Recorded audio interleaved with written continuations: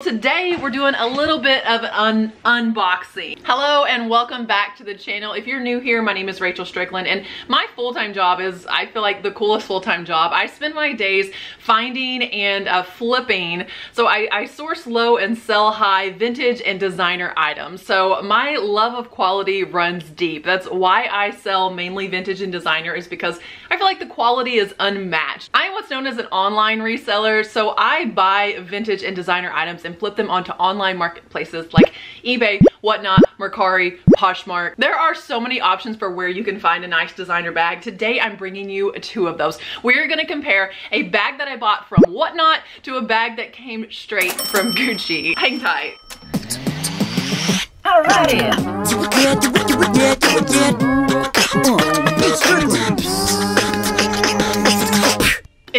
This video, it's clear that you really like luxury products. I do not blame you. So I have to let you know about a giveaway that I'm going to be doing. When this channel hits 20,000 subscribers, which we're well on our way to, I'm gonna give away a Louis Vuitton wallet. This is the most exciting giveaway I've ever done on this channel, but I'm so excited at the growth and the potential growth of this channel. And I want to start talking more about luxury and designer products in resale, in everyday life, how to get a really good deal on those products. So to begin incorporating that into the channel, that's what I'm gonna do. I'm gonna give one of you guys a Louis Vuitton wallet. It will be a pre-loved wallet in beautiful condition. All you have to do to be eligible is subscribe to the channel. Watch out for a video as soon as the channel hits 20K. I will announce the lucky winner. Now let's get back to the video. I have a pretty extensive designer bag and accessory collection, but very few of those items have come directly from the source. In fact, I, I could count on one hand the number of items we've actually bought from the designer. Most of my bags I source from thrift stores, believe it or not, estate sales, eBay, whatnot. But one thing that a lot of luxury bag investors and collectors will say is nothing beats the unboxing experience that you'll get direct from the designer. So today we're gonna do just that. If you can't tell, this one wrapped up in USPS with a little dent and hole in the side here. This one came from Whatnot, and it is actually a Louis Vuitton Alma bag that I sourced, get this, for 70 $4. It is vintage and you know one thing with Louis Vuitton Alma vintage bags is that the corners really start to deteriorate but I think only one of the four was in really bad condition from what I saw. So we're gonna unbox it. We're gonna see the luxury bag unboxing experience on Whatnot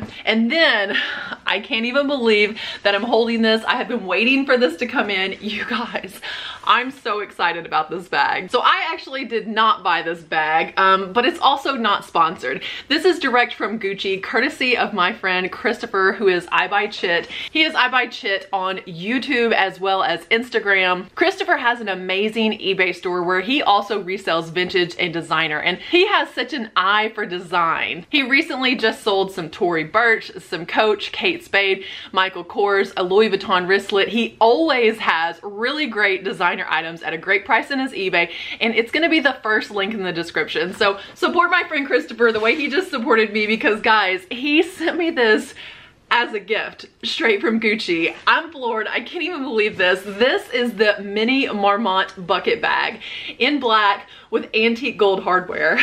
Holy cow.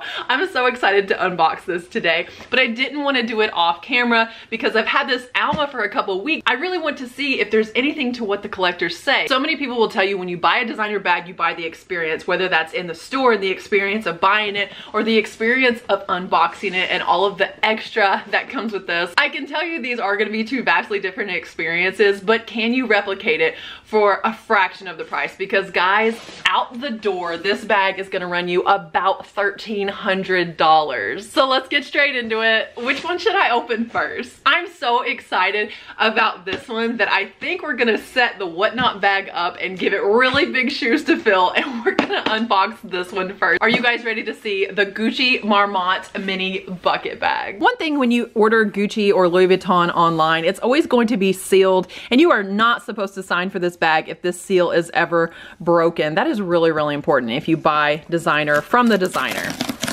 Oh my gosh, here goes. Are you ready for this? Oh, holy cow. Okay, guys, even the exterior box itself is branded in this gorgeous green brocade pattern um, all throughout. This is phenomenal. This is so beautiful. You don't even want to throw out a box like this. And look, This is a tote bag gift that comes with many of the Gucci bags right now. They cycle through different bags that are available, but this tote is so beautiful. It is the stars, which is so funny because um, I actually just gifted Christopher a star named after him and a star named after his mother. So the fact that we both have star gifts now, Christopher, this must have been meant to be, right? Many times when you buy secondhand luxury, it's not gonna come with the additional details that you originally got straight from Gucci. Reseller tip though, if you see a bag like this, many people might walk right by it and think this is nothing, someone just printed Gucci on a bag. If you see something like this at the thrift, pick it up because dust bags, tote bags, all the promotional materials down to the ribbons and bows have extreme resale value. Oh my goodness, you guys. This is the experience we're talking about when you, when folks say you cannot replicate the experience that is buying luxury. First of all, this card, the brocade pattern is actually raised. All of the stationery here is so beautiful. Even this envelope, guys, resale value. Don't worry, Christopher, I'm not reselling any of this. And inside here, thank you for shopping with us at Gucci. And then the actual order summary paperwork. So um, the fact that they put even that in a special little envelope is just so extra Gucci. Are we ready for this? This thing is gorgeous already. I'm already in love.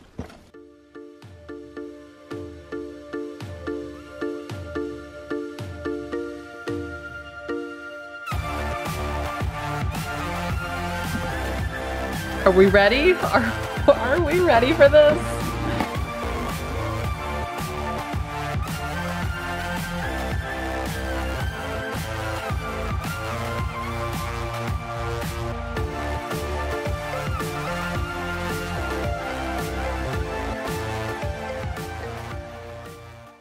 What a gorgeous dust bag this comes with. Guys, this dust bag is unlike any Gucci dust bag I've seen, to be honest with you. This is a linen-like material with a very old-fashioned brocade style stamping. This collection is just phenomenal and I love everything they're doing with the branding.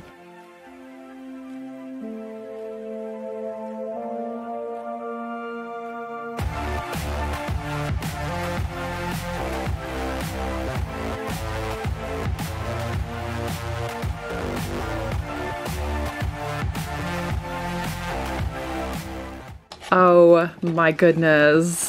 The quality of this leather, you guys. Okay, a few things that we'll note here is that there has not been a stitch of plastic wrapping anything thus far. That is really important even when you go to authenticate bags that you might buy from a source. You're buying them brand new, but you're buying them from a source other than the designer.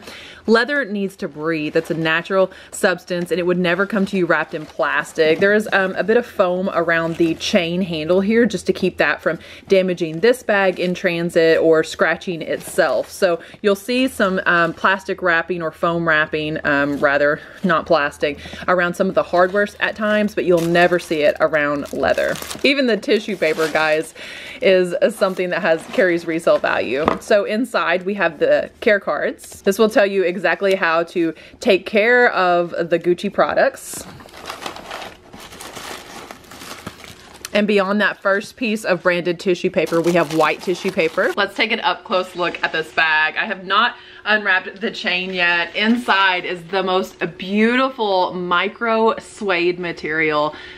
I'm just daydreaming about this. There's no way I'm not carrying this bag today, um, which is super, super appropriate because look at this.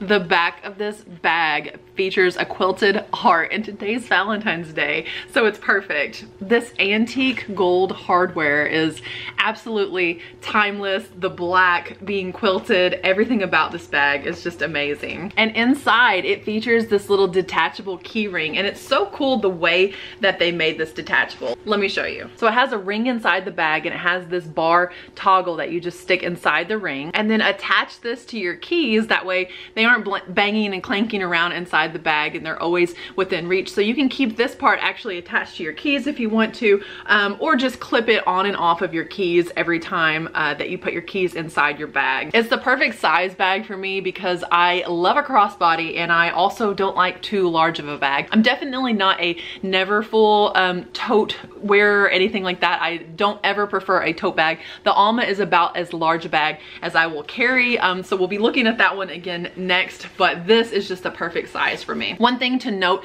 about this bucket bag is it is not designed in a way to fully close. Um, it is a true bucket bag. So dropping your essentials in there is a great idea because it only closes, I'll show you. It only closes partly and not fully, but it's designed to do that. But also with time, this is gonna soften and will enable you to close it more. Now I've seen some people even going so far as to putting their items in the dust bag and then setting that inside of there if you want that added security of having your items um, closed up. If I'm not carrying a purse, I am carrying my phone, my wallet, and my keys. That's pretty much all I require anywhere. Um, so the fact that I could just have them easily within reach, crossbodied style is perfect for me. I don't mind that this bag doesn't close. But if you're looking at this bag and that could be a deal breaker for you, it might not be the bag for you. The little tassels on the end are such a phenomenal little touch. All of the hardware is affixed with screws and just one here bears the Gucci name. Guys, the bag is just gorgeous. I have to get the foam off the strap here so we can truly appreciate her in all of her glory. It is, like I say, absolutely an experience when you buy one of these items. So the thing is, when you go to resell luxury purses, you have to play to that experience. If buying luxury is partly the experience, then reselling luxury, you have to keep that in mind. You need to invest in the little extra tissue papers, the little extra ribbons and bows and cards and make it an experience when your buyer opens that item. When they decide to buy pre-loved luxury in the future, you are their go-to source because they know they're not missing a thing, they're getting the same type of experience. When you buy direct from Gucci, the tags are affixed with a hard plastic here um, so that if you cut this, obviously you're not gonna be able to return the bag. The inside of this bag, they truly thought out everything for the girl that just wants a bag small enough to free up her hands and carry a few necessary items because this is actually a card holder and it holds two cards. So your driver's license, your debit card are right here within reach. You don't even have to put a wallet in here if you don't want to, which is again, perfect for me because nine times out of 10, I have my debit card and my license like in my back pocket, my phone in the other pocket. This thing was gonna elevate my game. One way to authenticate Gucci, um, in most bags that have like a tag style clip, it says Gucci on one side, you flip it over and on the other side there's a serial number, but you notice that tag is not present here. You'll see the card holder itself here has Gucci embossed at the bottom, which led me to believe maybe they placed the serial number in the same place they would in a Gucci wallet, which would be inside of one of these card slots. And there it is is, you can see the number embossed. If you are looking at Gucci to authenticate it and you cannot find a serial number anywhere in the bag, run away. It's nine times out of 10 fake. But this, man, Christopher, you are unbelievable that you would send me something like this in this full unboxing experience. Oh wow, I just noticed that the chain itself is attached in the same way. So it's totally possible for you to detach the chain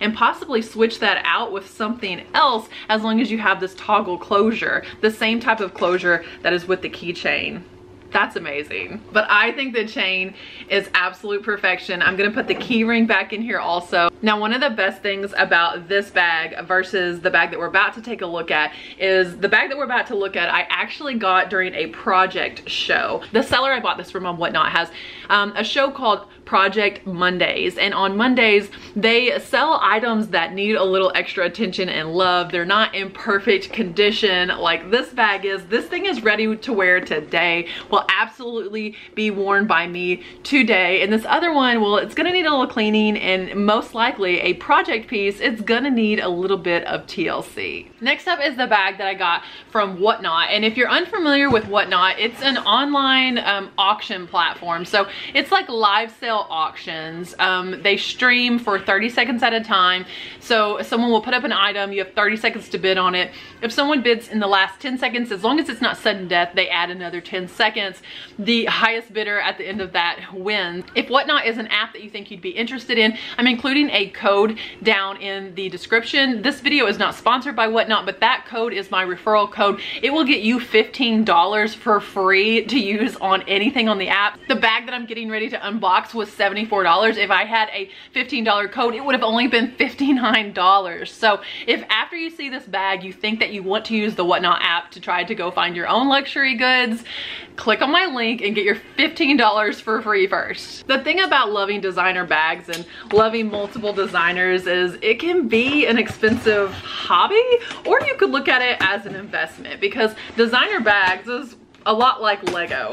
that doesn't sound right, but it's true. Lego pieces don't really decrease in value a whole lot. And if you buy the right designer pieces, then they're not decreasing in value either. It's insane to think, but some people are spending 30 to $100,000 on Hermes Birkin bags that are actually going to appreciate in value. There are a lot of people who would rather put their money in luxury designer products than the stock market. I know it seems insane, especially if you're not floating in that circle, but it's true. Now let's unbox the luxury from Whatnot. First of all, I did not have to sign for this package. USPS did damage it a bit. That is definitely not the seller's fault, but uh, this is not a, a white glove delivery service when you are ordering a bag online.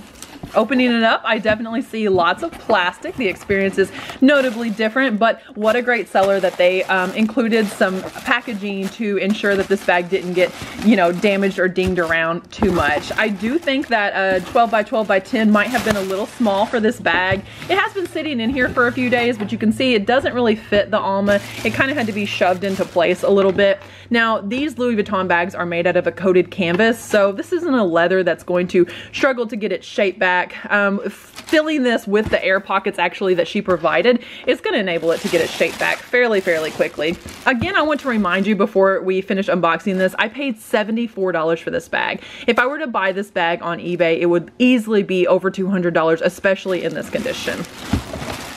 Let's check her out.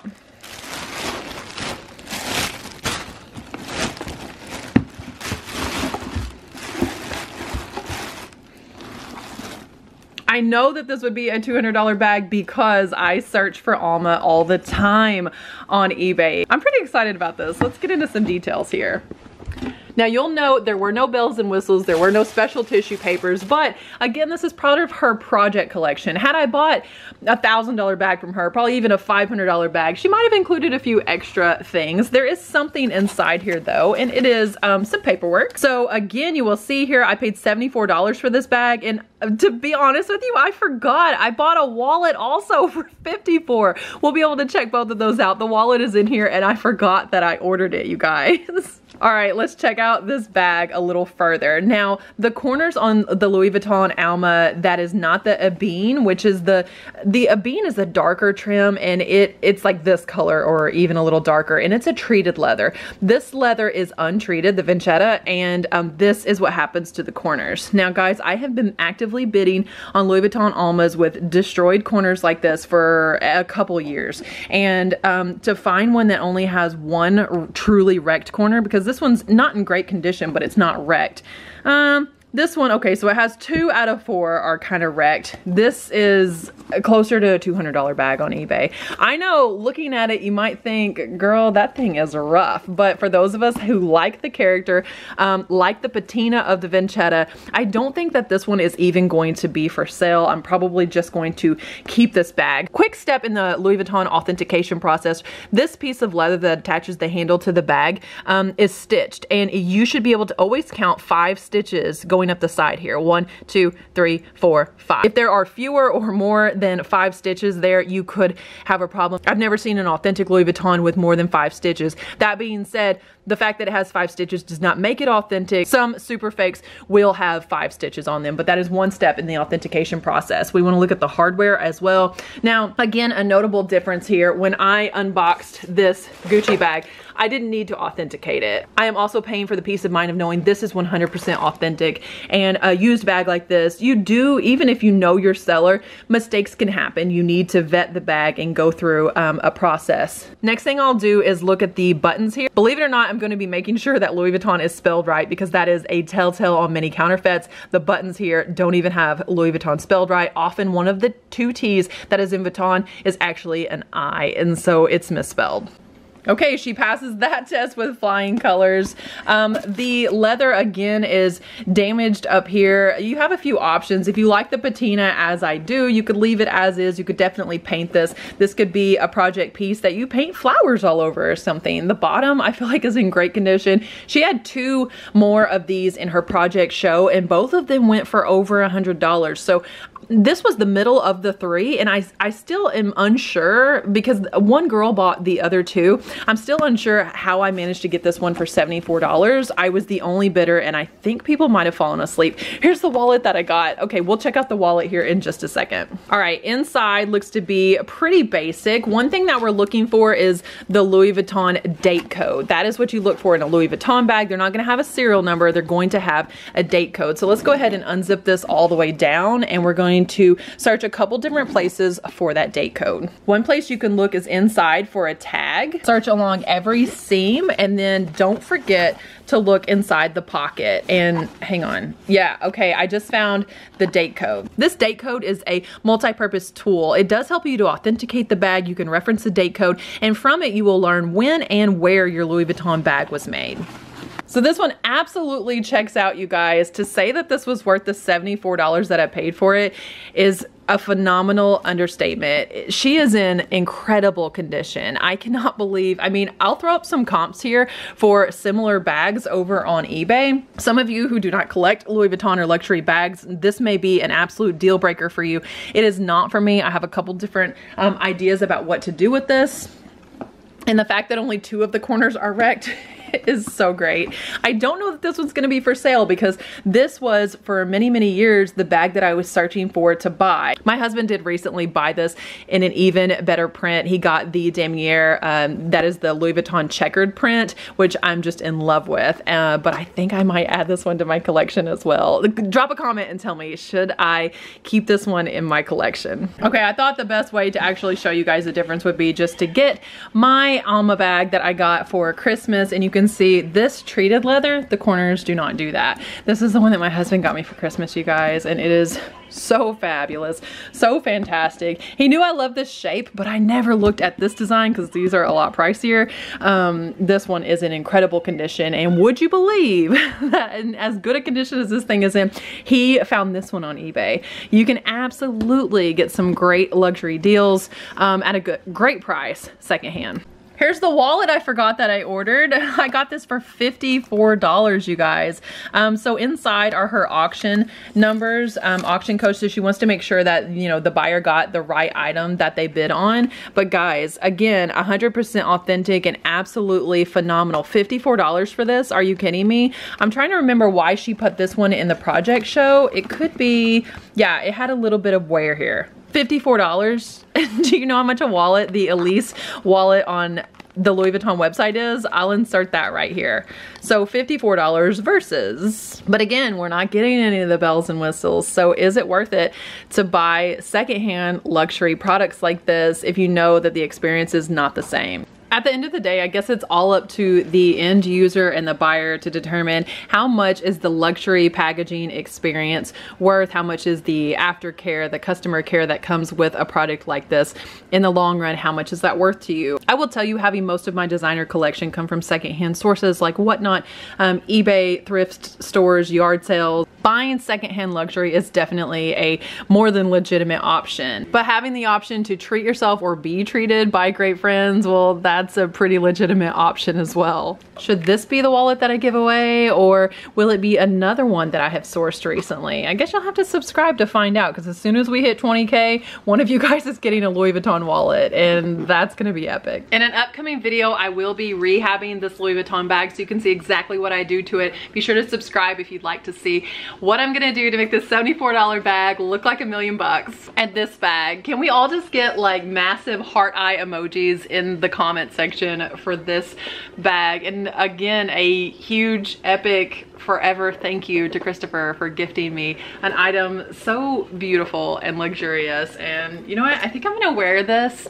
Um, we actually have my son's Valentine's Day party is today. And why not wear this for Valentine's, right? I'm gonna be like bougie hanging out with a bunch of six-year-olds. If you think that selling luxury goods on Whatnot could be for you, well, I have a code for that too. On Whatnot, you do have to apply to be a seller and not everybody is approved, but I can tell you one of the best ways to heighten your chances of being approved as a seller is with a seller referral link.